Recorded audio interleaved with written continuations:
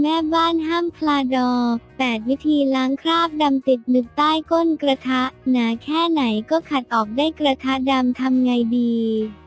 คำถามที่เหล่าแม่บ้านหาคำตอบมานานว่า มีอะไรช่วงยอล้างก้นกระทะไหมหรือคราบดำติดกระทะได้บ้าง วันนี้กระปุก .com เลยรวบรวมวิธีล้างกระทะไหม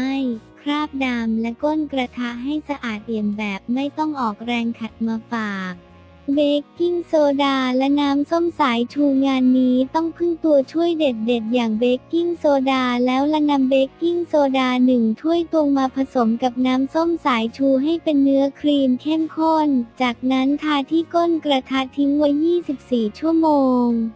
แล้วค่อยขัดออกด้วยการเพิ่มเบกกิ้งโซดาลงไป 3 ช้อนโต๊ะ และน้ำส้มสายชูอีก 2 ช้อนโต๊ะเท่านี้กระทะของคุณก็จะสะอาดเอี่ยม วิธีล้างคราบดำติดก้นกระทะคราบสกปรกที่ล้างออกยาก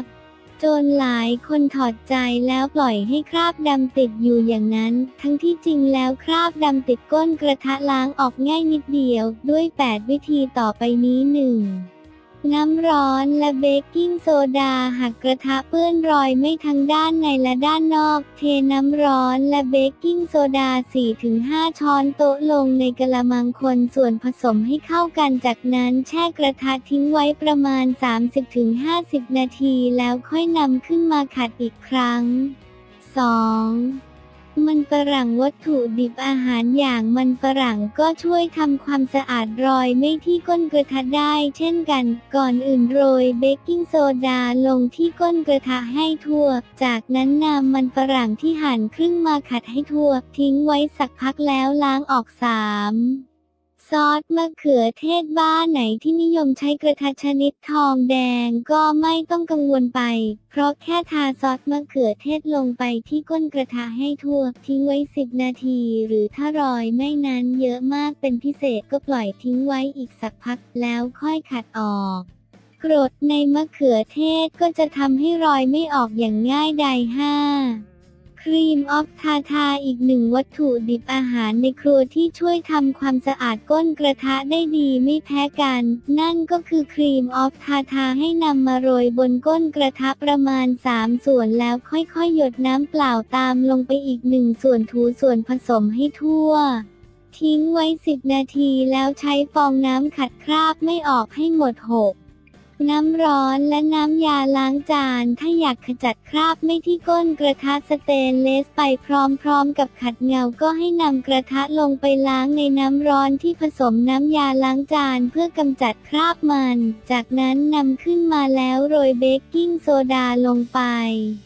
ขัดด้วยฝอยขัดหม้อและน้ำอุ่นผสมน้ำยาล้างจาน แล้วล้างออกด้วยน้ำสะอาดเจ็ดน้ำส้มสายชูกับเกลือเรียกได้ว่ามีประโยชน์ไม่จำกัดเลยจริง ๆสำหรับน้ำส้มสายชูที่ใช้ทำความสะอาดก้นกระทะก็ได้ด้วย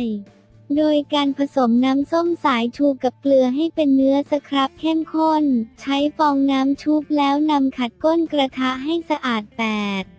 แป้งสาลีและน้ำส้มสายชูสำหรับกระทะเทฟลอนให้ใช้สูตรนี้เลยนำแป้งสาลี 1 ช้อนโต๊ะมาผสมกับเกลือ และน้ำส้มสายชู 1 ช้อนโต๊ะหลังจากนั้นก็ทาส่วนผสมลงบนก้นกระทะ ใช้ฟองน้ำถูให้ทั่ว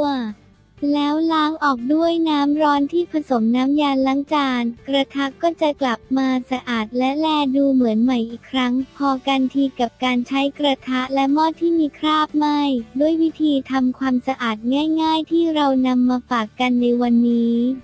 ราะนอกจากจะทำให้สารพิษปนเปื้อนมากับอาหารแล้ว ยังทำให้กระทะทำอาหารได้ง่ายและเร็วขึ้นด้วยหลัก นับว่าเป็นวิธีที่สามารถนำไปใช้ล้างได้ทั้งกระทะเหล็กและกระทะเทฟลอนเลย ถ้าหากใครเจอปัญหาก้นกระทะไหม่หรือกระทะมีคราบดำขัดไม่ออก ก็ลองนำวิธีเหล่านี้ไปใช้กันดูนะคะ